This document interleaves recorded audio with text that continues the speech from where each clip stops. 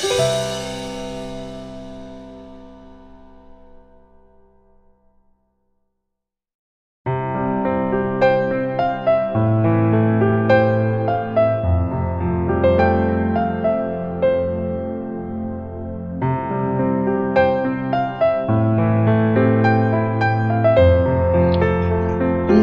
உங்களுக்கு பிடிச்சிருந்தா சப்ஸ்கிரைப் பண்ணுங்க லைக் பண்ணுங்க ஷேர் பண்ணுங்க கமெண்ட் பண்ணுங்க Thanks for watching.